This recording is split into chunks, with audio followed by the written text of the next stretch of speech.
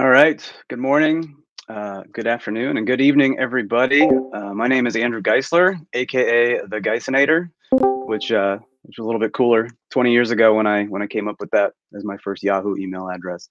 But uh, I'm the maintainer of the Phosphor State Manager repo uh, within OpenBMC. I've been around for for quite a while. Um, not quite as long as some of our, our really old people like Patrick and Brad, but I, I did start out um, you know at the very beginning of the of the phosphor state manager repo. And uh, and as a part of phosphor state manager we also kind of need to understand system d because it, it, utilizes that a lot. So this presentation is going to be an education session over over both of those pieces within openbmc. I plan on this being pretty informal and i'll try to leave some pauses here and there. So if you got a question just just ask it as we go. Um, yeah just shout it out. All right, let's start with System D. So System D, love it or hate it, it is utilized in a lot of Linux um, distributions out there, including OpenBMC. Uh, it was the replacement for, I think it was called System V or something like that back in the day. Um, but it provides a lot of function and a lot of different things within it. So it's a software suite um, of features, you know, that, that you can use within Linux subsystems. Uh, our our main use of it is for starting and synchronizing our user space services. So all of the different open BMC applications and all of the packages and, and tools that we pull in from other areas are all started and synchronized by systemd. Um, this picture, which I, I think I just stole from Wikipedia, shows a lot of the different areas. So you've got um, the utilities at the top here. So system control and journal control are two two tools you always want to be very familiar with. Um, they're what you use to interact with the, the different systemd functions. So the journal is also provided by systemd, and the journal is where you see all the debug data go that we look at to, to debug systems. Uh, there's a bunch of daemons that run. So the systemd and the journal D are the, the two key ones for us, although I, I assume the network one is also pretty important. Um, these there's these concepts of services and targets. So i think that's a really key piece for people that are new to system d to understand and a lot of this presentation is, is based on these. So within system d you have what we call services and there will be examples of these later on but these are what basically start your application. Um, and then we have this concept of targets within system d. And so a target is um, for example, a target could be start the network interface. And so what a target does is it is it abstracts all the different services that need to run to achieve that target's goal. So you could have a lot of different services that are involved in bringing up the network. And so basically, once all of those services are complete, you know, this target would be complete. And so we have within OpenBMC some very, um, you know, we have our own custom targets, systemd targets, and services that go in those targets.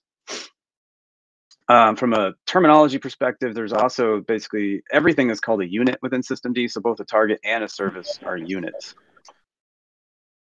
So on the bottom right here, you can see a system booting. And so you'll see this is a, the console of the BMC. And I think this was a, like a Witherspoon system booting up OpenBMC. And so you can see things like, you know, reach the target network. So we have run all of the services associated with the network target, you know, and they've started successfully. And so in theory at this point, you know your network is is up and online. Um, you can see other stuff. I think there's some some bmc open bmc specific, specific stuff like the web server. You can see the bmc web server starting here. Um, and uh, other pieces and functions. And you know there's a bunch of stuff that comes out. It really shows you all the different things that launch when you when you boot up a one of these bmcs the other key piece of systemd and that we utilize a lot is templating. So these services and targets can be templated, and that's just uh, I'll show an example later, but that's just really saying that um, you know it's a way to make your services and targets more generic. So maybe you've got two network interfaces, ETH0 and ETH1, and you need to do something you know on each of those interfaces. But sometimes only ETH0 is there, and sometimes only ETH1 is there. So you can use a templated service that does the same thing and you basically pass in which ethernet interface you want it to do the operation on. So that's the the basic idea of templates. Any questions out there on my really down and dirty overview of systemd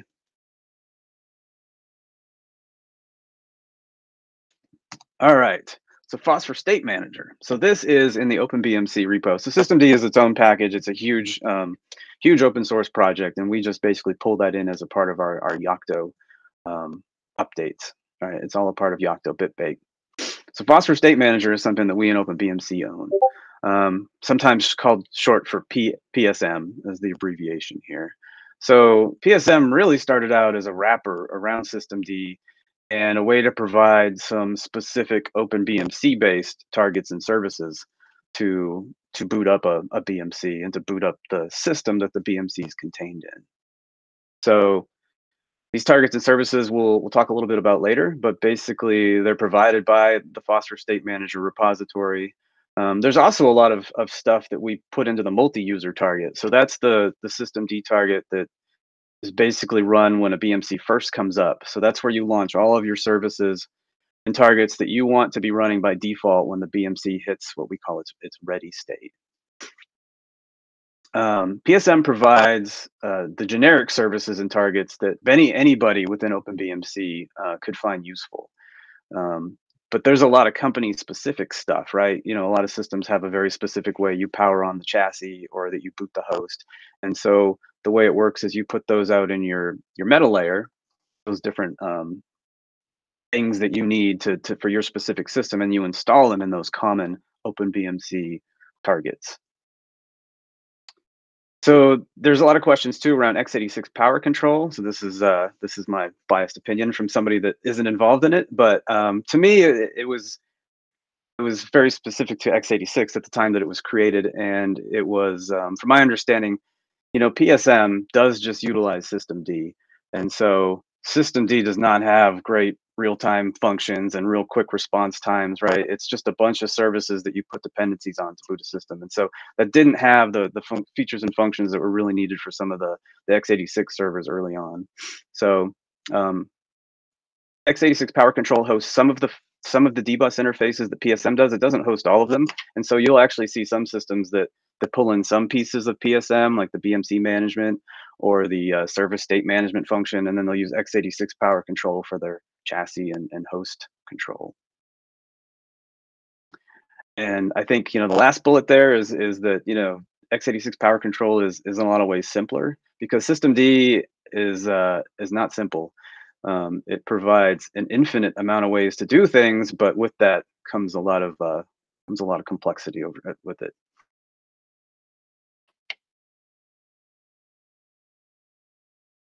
All right, so let's dig into it a little bit here. So Phosphor State Manager, I, I, I said earlier, provides System D targets and services.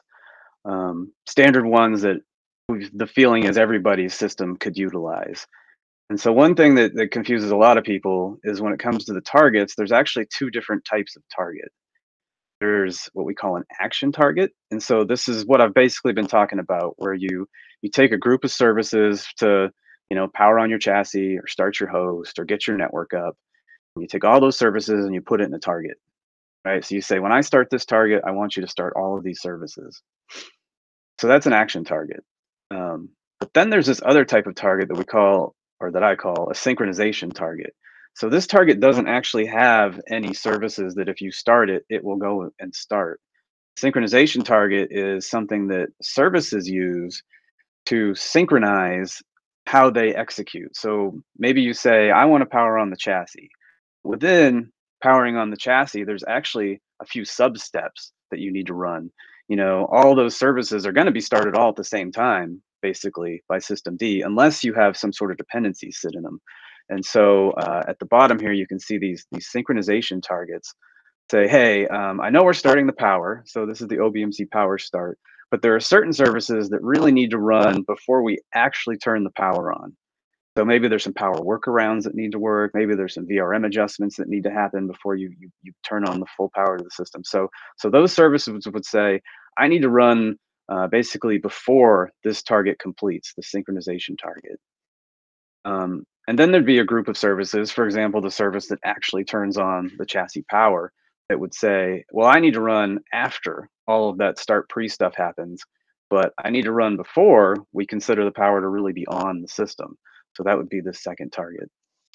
And I think that was um, this this this concept was modeled off of I think the network driver. So when you turn on the network, there are certain services that need to run before the network link actually comes up, and then there are services that need to run to actually bring the network service up, and then there's even like a post um, synchronization with the network where there are things that need to run after the network you know link has actually been turned on.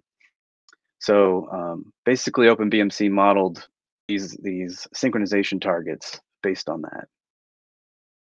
So in here we've got a mix. So um, the, the, you know one of the most important targets in the in the OpenBMC world is the OBMC chassis power on target.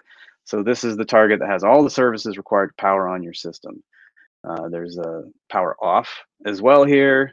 There's a power reset. Um, so this is how you handle basically if the chassis power is already on at, and the BMC has been rebooted. And then we've got the host start the OBMC host start. So this is the services required to start your host. Um, there's this start min. This was introduced uh, after the start where we found scenarios where if you're doing like a, a reboot of your system, you you don't want to run some of the stuff as if it was a fresh boot, you know, like clearing certain config data or BIOS values or stuff like that. So that's why you see kind of this this host start and this host start min. So host start min is the minimum things you need to really start your host. And so basically, this host start target, you know, it requires this host start min. So that's the design you'll see within System D. is targets can require other targets. Uh, the host shutdown is what you start to have a graceful shutdown of your host. So you put the services in there that would notify the host, hey, you need to you need to shut yourself down. Um, and then host stop is is which the services that are run to really make sure the host is stopped, like you know stopping instructions out to the CPU kind of thing. And then I gave a few examples of synchronization targets uh, we were just talking about this power start pre and, and power start piece here. Um, there's a lot more out there. Um, there's they're documented up in the the PSM README, but it's all the same principle. You know, like host start has a has a host start pre and and uh, start, and then I think it might even have a post. All right. Any questions on targets, action and synchronization targets within OpenBMC, Phosphor State Manager.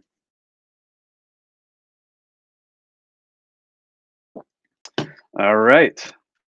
So here we go. Let's get into the into the good stuff here. So this is a Witherspoon system, which was one of our first OpenBMC servers. Um, so what I'm looking at here is so all of, or the majority of our OpenBMC systemd targets and services can be found out in this lib systemd system directory. There are some exceptions. Um, you'll also see some out in slash etc systemd system. Um, but for the most part, our services and targets are, are out in this directory, along with a, a, a lot of systemd, you know, included targets and function. So what we're looking at here is the OBMC chassis power on target. So this is a templated target. So the idea with the templates is that you could, in theory, be running a BMC that has multiple chassis in it that you can control the power to independently. So if you did in that fact have that, then you would, you know, you could power on, you could call this target with a zero or a one or a two or whatever the instance numbers of the chassis are in your system. For most systems, it's just zero, which basically is, you know, the power on B chassis in the system. And um, you can see that it's a target by the end of the file here. And the dot requires is saying these are all the services that need to run when somebody starts the power on target. Um, one thing to note with systemd targets is that there's a dot requires and there's a dot wants. So they all both will start the services, but if a service within a dot requires fails, then the target will be considered to have failed. So, you know, the general rule is if that service has to pass for that target to complete, you put it in the requires. If it's a if it's a nice to have, you would put it in the dot wants um, for it. So it wouldn't cause that target to fail, i.e., the system would still be considered powered on, and you could, you know, boot your host firmware or whatever, even if that service in the dot wants fails. So within this target, you know, this is just looking at a BMC file system, uh, which is one of my favorite ways to go out and, and really understand what's going on with the BMC system. You can see all the different uh, services that needed to run in order to power on a Witherspoon. So Witherspoon was one of our first systems. So you can see we ended up putting uh, quite a few different um, workarounds and, and features and functions in here. But I think it does show the power of, of System D and the ability to have all these services and put the appropriate dependencies between them so that you can kind of run all of these pieces individually and successfully power on your system. And you can see that some of these do have templates. So some of these services are very specific to the target and some are more you always run these type services. So if you don't see the, the at something number here, that just means it's a service that is pretty much universal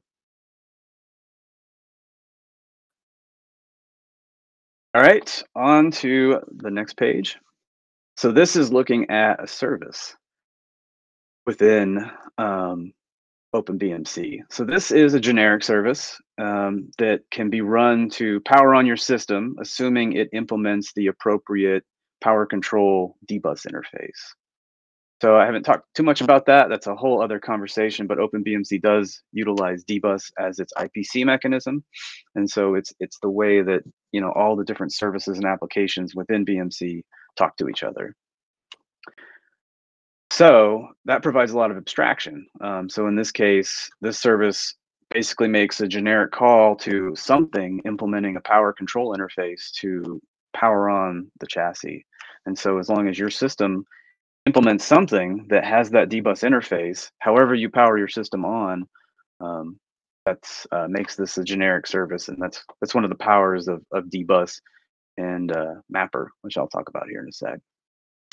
But all right, so when you look at a service file, it basically has three sections um, from our use case perspective. There's the unit, which is kind of your generic uh, area. This is remember I said at the beginning that a unit can be a uh, is basically a service and a target and a lot of other things within systemd it's your it's your base uh, piece.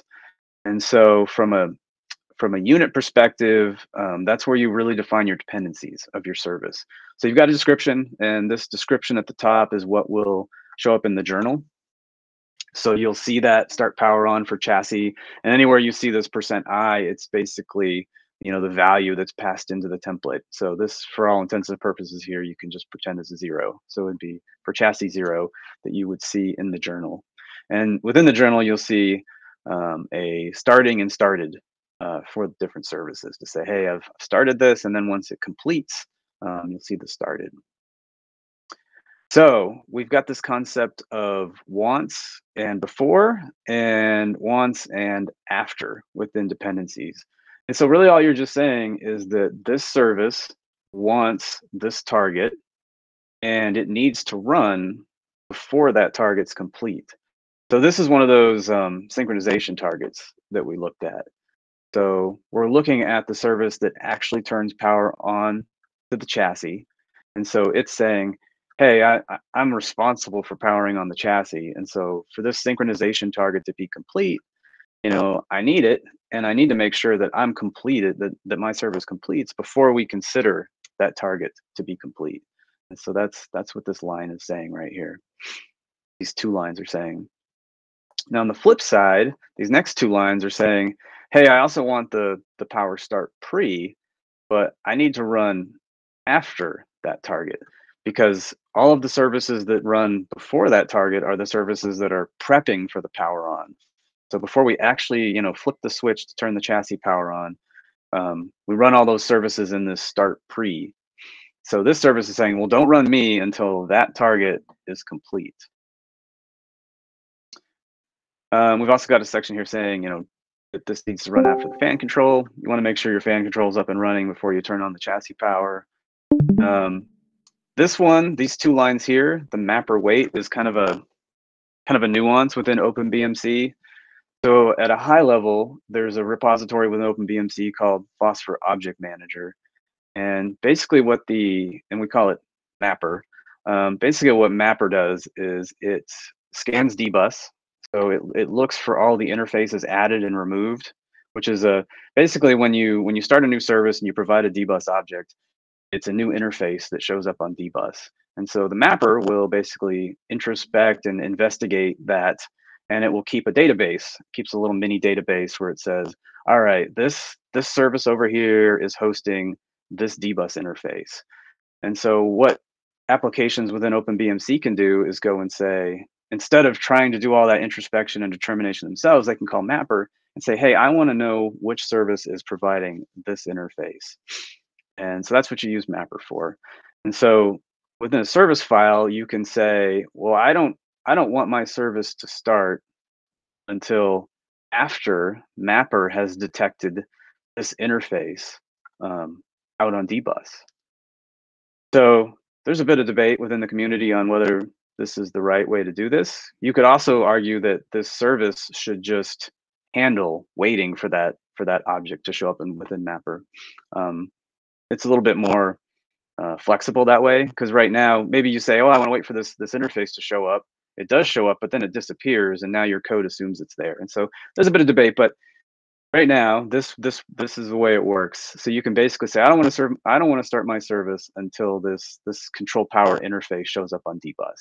And why is that? Well that's because when you look down below we're calling that dbus interface to power on the system so it's just a simple way to say wait for it to wait for it to be available for me to call and system d will make sure that this service doesn't continue to run until these dependencies are met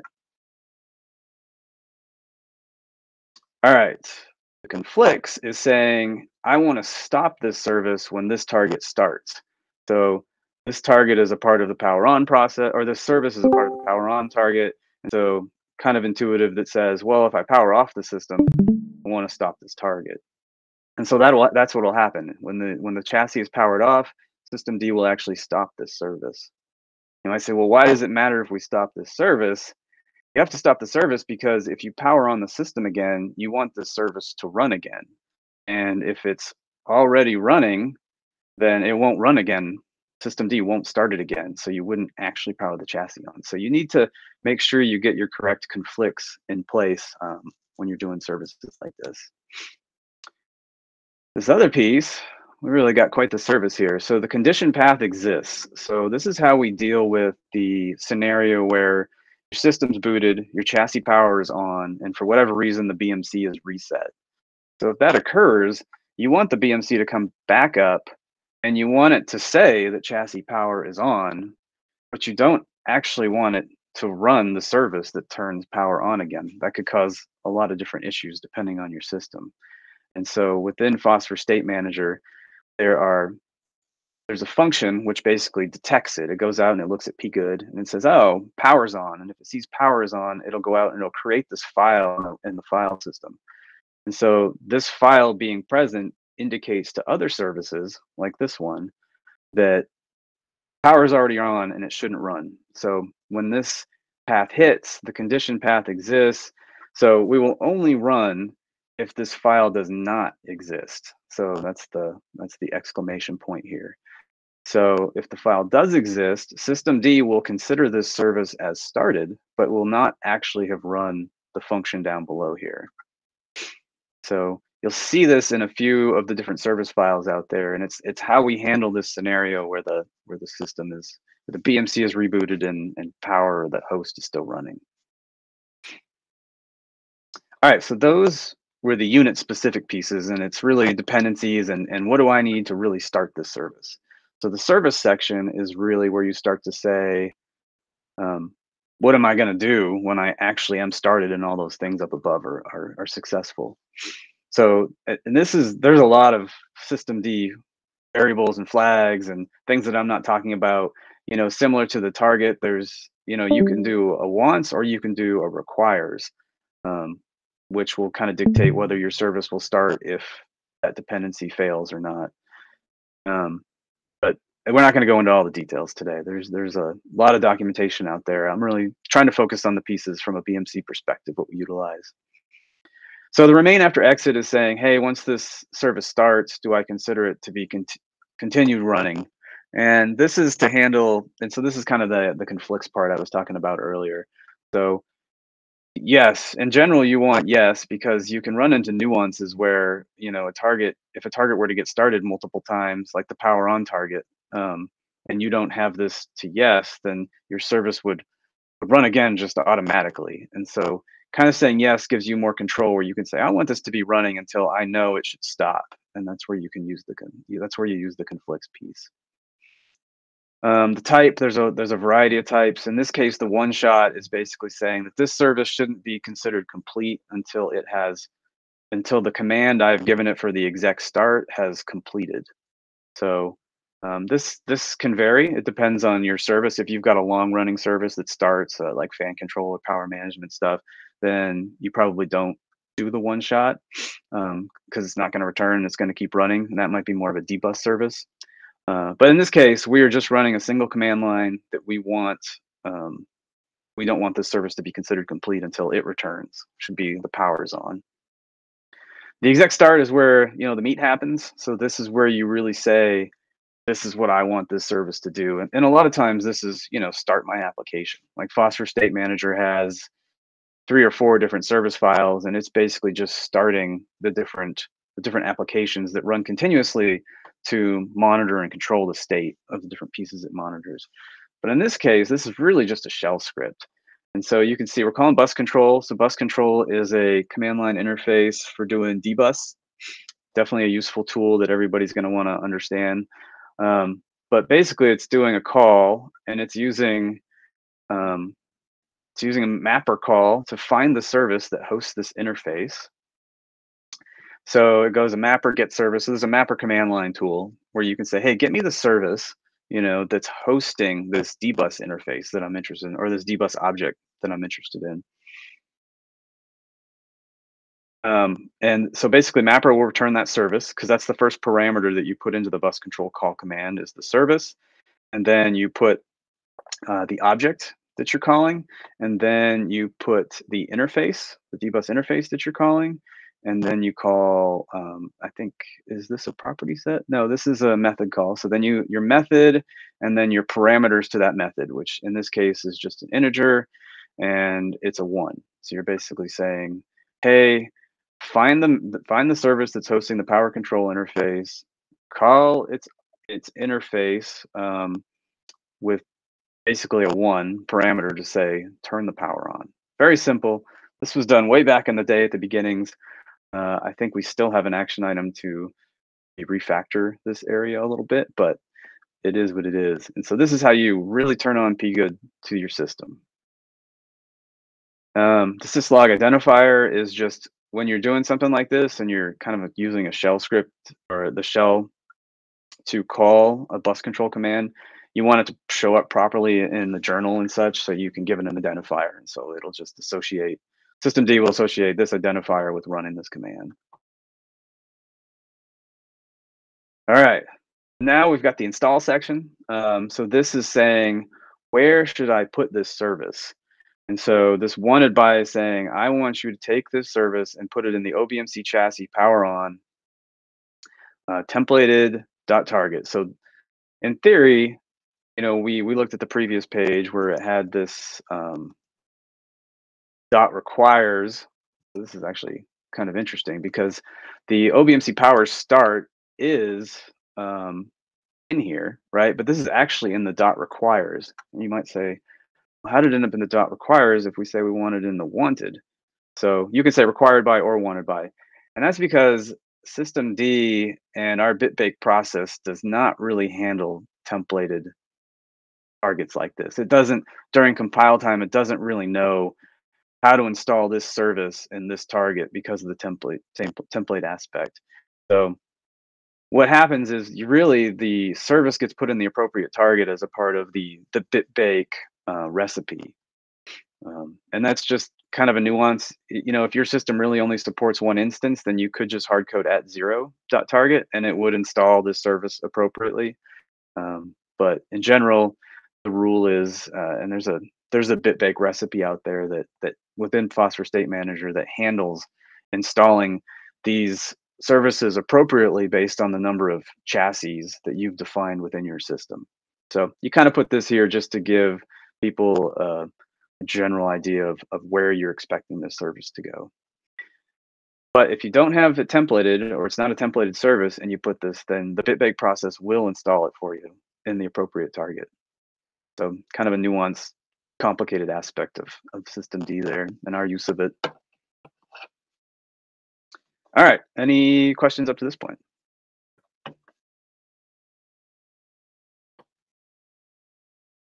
All right. So phosphor state management. So it really did start out as basically um, somewhat of a wrapper around systemd. So the basic idea was you've got three different phosphor state manager um, services. There's the BMC one. So this is the one that monitors the BMC, really just looking at that multi-user target that I was talking about. Um, the, the BMC has, I don't know, three different states. It's kind of not ready. So that's when you're you're booting up all of those different services. It has ready, which is where we have successfully started all of the services within the multi-user target. Um, and it has quiesced, which is where um, one of the services in the multi-user target that is required has failed. So that's the BMC. Um, there's the chassis. So this is the state management of powering on and off your chassis. And that's um, what we were just showing earlier for examples. And then we've got the host and hypervisor state control. So mostly this is host. So this is the things that you need to do to start your, your host firmware on your system. Uh, some systems, I think maybe just IBM specific has hypervisor that's running on top of things. And so we also have some uh, an optional fourth application that you can start within state management that manages the, the state of that hypervisor. Um, OBMC util, this is a command line tool that you can run. Um, it's packaged, I think, as a part of the BMC package within State Manager. And so that allows you to look at the state of all these different pieces, power on and off your system, look at some error logs. It's just, it's kind of a general purpose utility. And really underneath the covers is just using bus control. So it's just a wrapper to, uh, to dbus to go out and look at this data. PSM also hosts the boot progress, so boot progress comes down, however it comes down, and, and that's hosted on the, the within the PSM repo on the host on the host object. Um, power restore. So this is the function that if you were to lose power, AC power to your server, and when the AC power comes back, there are certain servers that want a certain behavior. You know, they want to just they want to make sure it stays off. They want to mm-hmm. restore it to whatever the state was before, or some people just want it to always power it on. So there's functioning functionality built in the PSM to look at that behavior, determine if it was an AC power loss, um, and then to take the appropriate automatic behavior based on the, the behavior. The BMC reset reload, maybe more of an IBM term, but this is the this is where the BMC is reset and the chassis power is on is already on or the host is already running, and PSM handles detecting that and then basically getting all of the states back into the, the proper proper state. There's some lab debug hmm. that's also built in to PSM, so the ability to control how often auto, how many auto reboots occur, so rebooting your server and stuff. Um, different types of recovery paths. If your host does fail, do you want to try and recover or do you want to just fail? Stuff like that scheduled host transition. So this is where you can go into PSM and you can say, hey, at this time in the future, I want to do this particular operation, uh, power off the system, power on the system, that type of thing. Pretty limited use. It's it's more of a special case situation where maybe people want to power their servers down uh, overnight and then automatically power it on in the morning type stuff. Um, quiesce and reboots within PSM. So this is handling failures of the host and basically the policy that we, we implement when we detect those. And then there's a standalone function within PSM that uh, monitors for particular, syst particular uh, systemd services or systemd targets. And if it sees them fail, um, it will take action. So systemd does provide a dbus API that you can subscribe to. So you can say, hey, systemd, I want to know um, I want to know when these services are started or stopped or if they fail. And the same thing with systemd targets. And so PSM does subscribe to that signal and monitors for these um, these changes. And so basically the, the monitor target will um, generate a dump, it will generate an error, uh, it'll put the BMC potentially into a quiesce state if uh, if it's a critical service. And so for for IBM, it was a way to really try and, and guarantee that if something fails, there's always a log and a dump for that situation. Um, all right, so all of these functions really interact, basically just interact with systemd targets. That is the design of, of PSM to do that. And um, excuse me, the people that interact with PSM, there there are some functions like uh, PLDM and fan control and such that do come in and interact with PSM. But really, for the most part, it's BMC Web. That's our web server with an open BMC that interacts with these dbus objects um, out on um, that are hosted by state management and uh, the host firmware that comes down and, and interacts with different pieces of these functions. All right, any questions on this picture?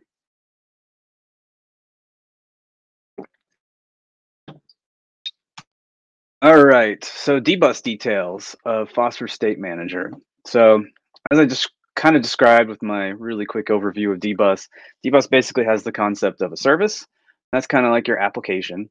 Uh, it hosts objects, which are these paths, right? So it's kind of a um, object-oriented type path here out to the out to the object you're hosting.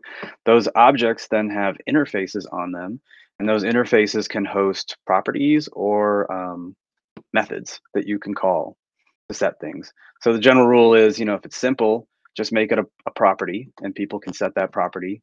And that's how powering on and powering off system works through state management is you basically set properties uh, on these objects to power on and power off the system. And then you can basically read other properties to say, well, what is the state of it? And uh, um, that's really how PSM works here. So we've got the BMC, the chassis, the host, and in some cases the hypervisor. They are instance based, as this X shows. Um, they were designed that way from the beginning, so you could potentially have multiple BMCs, multiple chassis, multiple hosts, multiple hypervisors uh, in a system. Uh, practically, I'm not. I think maybe a few people utilize this, um, the ability to do more than just a zero. But in most cases, it's it's just a zero on here. And then basically these map to, you know, we were talking earlier about the instances, like the OBMC host start or the OBMC chassis power on you know those the instances that you pass to these targets match up to the instance of the object on dbus um, so I put some links out here. I'll get these uh, charts posted somewhere for people so you could actually click on these links. But it, it just links out to some of the OpenBMC code and to give examples of how we install these different services and targets and and such, and how we put it in for you know custom machine pieces go into these same targets.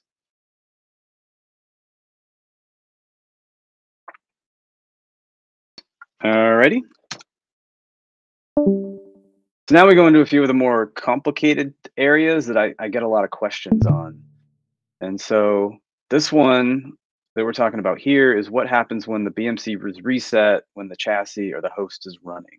So remember earlier we looked at that service file that um, that basically would say, hey, don't run if this file is located out in the, the file system. That file indicates that chassis power's on.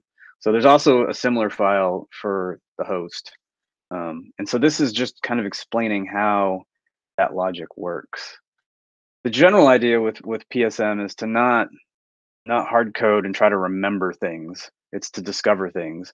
So you could say, well, I mean, if you could just say the last thing I remember is the chassis power's on. So if I get rebooted and I don't remember the chassis power being turned off, then I'm just going to say the chassis power is still on there's a lot of dangers to a design like that and so psm is really built to discover it right go out and really read the the p good gpio and see if power is really on um, and then also the design point is not to have a bunch of special code within psm that says oh okay wait a minute this is a reset so i'm going to fake this out or do this we still want to just run those same targets. We still want to run the OBMC chassis power on target. We still want to run the OBMC host start target because that's what the that's what the PSM applications look at.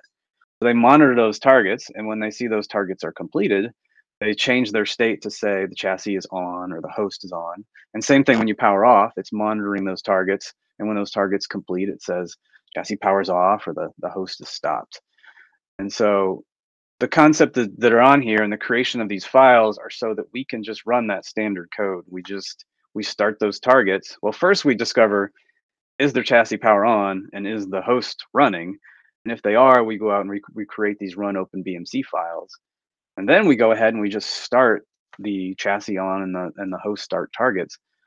And we know that the services within those will run appropriately with these condition path exists checks. So uh, at a high level, I don't I don't think we need to read all the text here. I tried to really kind of describe it to people who are curious, but at a high level, that's that's how PSM is designed and, and how it runs to determine these pieces. And it has these custom targets um, Power Reset and Host Reset that run these services that discover whether or not the chassis is on and whether or not the host is running. I, I guess it does deserve deserve a little bit of um, description here. So, how you determine if your host is running can really vary from system to system, and so it's not as easy as determining if your power's on. You basically just read a GPIO. So determining if your host was running um, required a more generic implementation. And so what happens is the PSM code goes out on dbus and it looks for anything implementing this host, this condition.host firmware um, interface. And if it finds it, it calls it and says, "Hey, tell me if the tell me if the host firmware is running." If it doesn't find it, it just assumes that the host is not running. And so we've got, I think, three different implementations that I know of of this of this interface. So there's one that uses IPMI to talk to the host, in-band IPMI. There's one that uses PLDM. So PLDM is also an in-band protocol that we have within OpenBMC. And there was another one that actually used, I believe, GPIOs.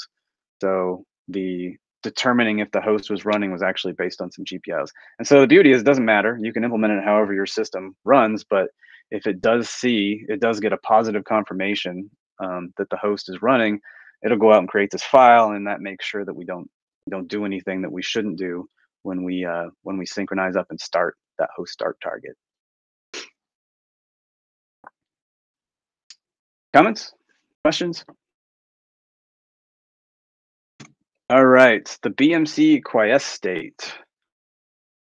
So from an IBM perspective, we have a um, pretty hard rule that you know really think everything needs to be running as expected and if it's not we need to alert somebody and get it fixed. And so if a service fails within the bmc and we've identified it as a critical service which we identify most of the services as critical but if it if something does fail then we go into what we consider a bmc quiesce state um, and you know, the basic rule is we don't really know. Well, you know, we've generated an error, but it's really difficult to say what's the impact of this service failing to to a, a, a user of the system. And so we just basically say, hey, we've generated an error. We've probably generated a dump. Um, and you know, the BMC is in a kind of undefined state, and that's what quiesced is now. And so within PSM, you can define for your system what those services are. There is a default one um, but you can override it from your your bitbake meta layer to to have whatever you want from a service perspective. Um, within System D, you know, you do have restart policies. Uh, we have a we have one for OpenBMC that's pretty much used by all of our services, which I think says, you know, a service can restart two or three times within 30 seconds before it's considered to be failed. So you get kind of a few a few tries to restart. Uh, but we if if it does continue to fail, then we go into this BMC quiesce, and and it's really up to the user of the system and whatever your you know maintenance and and uh, how you manage that system policy is to be handled.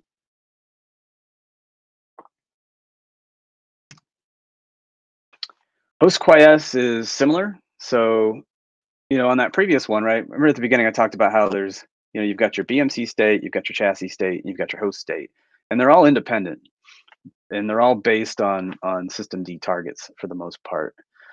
Uh, so the host can also enter a quiesce state, and so this is saying it's you know basically it's it's reached some sort of failure state, um, and it can happen for a variety of reasons. Um, some you know for example, the target that starts the host uh, within that target, you can have a what we call an on failure. Can so you can say you know if this target fails, which means one of my required services has failed within this target, then I want you to go system D, I want you to call this other target. And so what system D will do is call whatever you put for an on failure, which um, in the host start would be this host quiesce target. That's basically saying I want to I want to move my my host state to a quiesce state. Um, there are other examples where you know if we get a host timeout, so that's like a watchdog that watches the host as it boots. So the default in there is to say, hey, if if we if you know if this watchdog times out, then we also want to move to the to the host quiesce. And then we have services that also can detect different types of failures from the host, and it could also start this, this host quiesce target. However you get here, the state manager code monitors that target. And if it sees us go into the host quiesce target, it looks at a variety of things to figure out what to do next. Um, there's a reboot policy that you can have for your host that if it's enabled, uh, you can disable it completely. Uh, by default, it has a reboot count, which says, you know, try to reboot the host X amount of times. I think our default is is three, so the host will get three times, three chances to start. Um, but if it's disabled or we've already hit our limit, then we basically will just stay in that quiesce state. And that is something that external clients can also see uh, through the Redfish API and take the appropriate action. And you know, the system will also do things. I, I think when we go into a, a, permanent quiesce state, we'll generate, you know, a debug dump of some sort. We'll generate uh, some sort of error log that says, "Hey, um, the system system has failed, and here here's the data we have for it."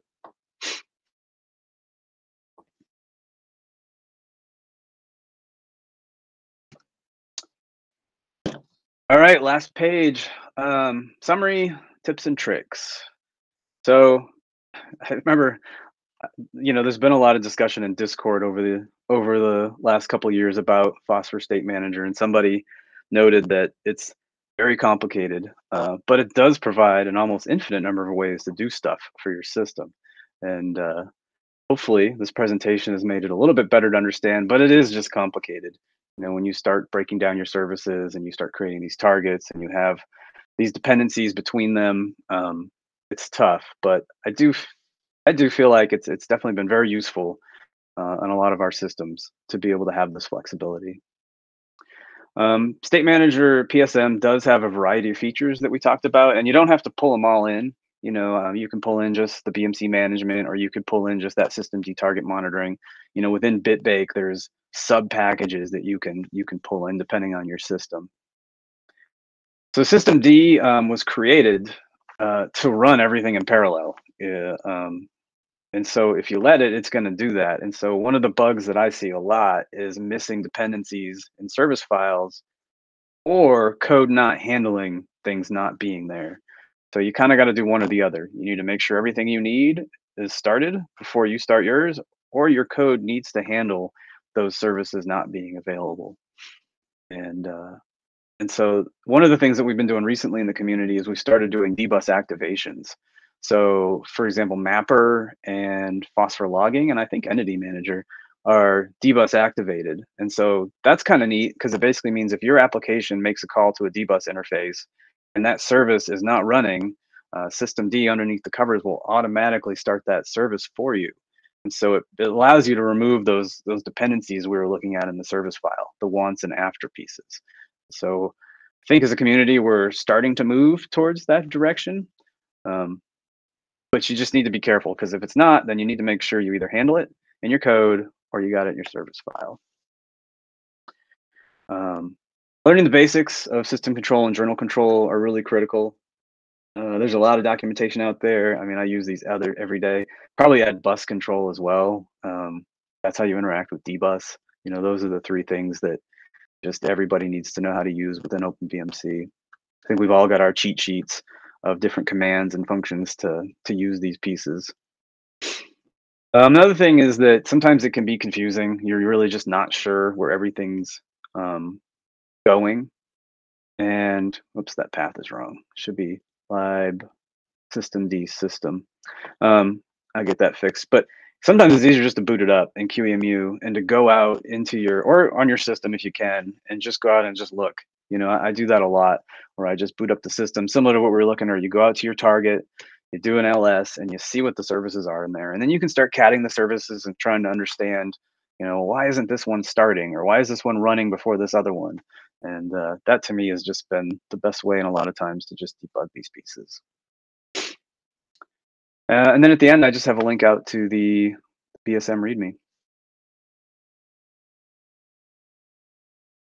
All right. Um, anybody have any questions or anything they want to talk about? Hey, Andrew, I had a question about if there's any guidelines of about using requires versus wants in uh, systemd service files because it, it almost seems that you know the state manager relies heavily on sequencing that maybe at first thought that people may may may think, well, I, I don't want, for example, the start service to start if anything in the pre-start service uh, fails. Uh, so so why having like a wants versus a requires in, in general?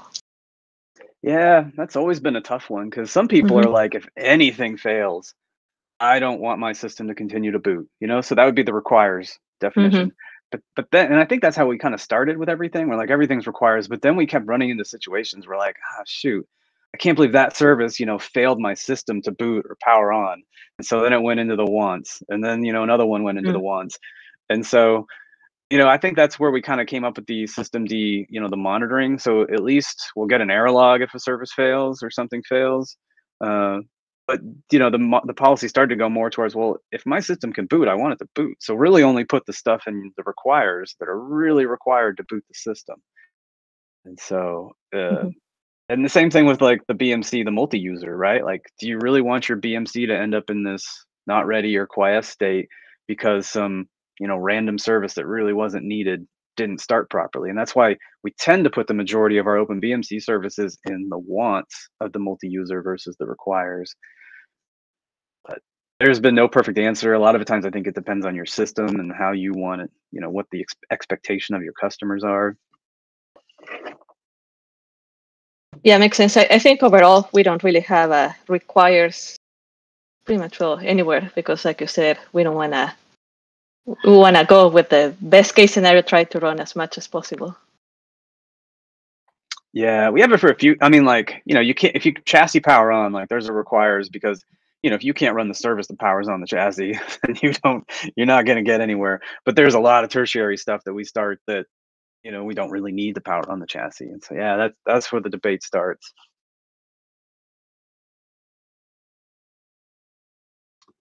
Anything else from people out there?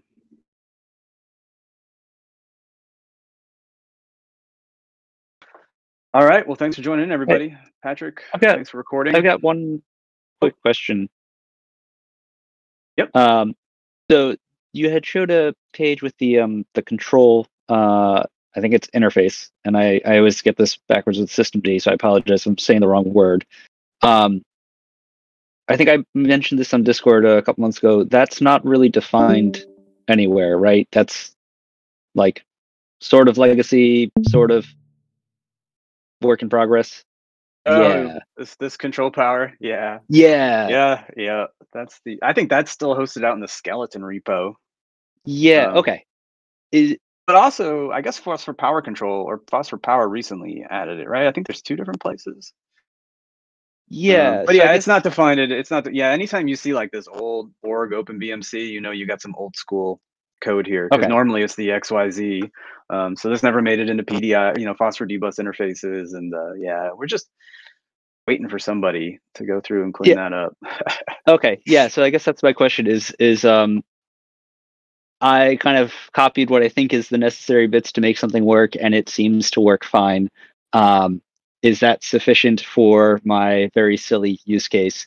Or should I have expected it to be in PDI, or it's just uh, it's on me to go and uh, get that done because I'm the one that's complaining about it? yeah, that's usually the way it works in OpenBMC. Okay. the last one. Cool. But no, I think the beauty is like is that you know this is Mapper, and so it's just this whole thing is just saying I don't care who hosts this. Find somebody that hosts this this this object.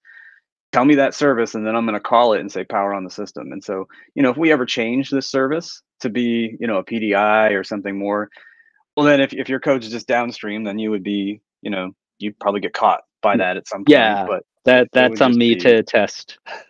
yep yeah, that's Okay. just the way it works. But um, yep, yeah, we got Okay. most of skeleton cleaned up, but this one is this is the one piece that uh, that's left out there. Okay, yeah, this one always seemed a little weird, so I just want to make sure I understand um, why that is. so thank you. Yep, sure. All right, going once, going twice. All right, thanks for joining in, everybody.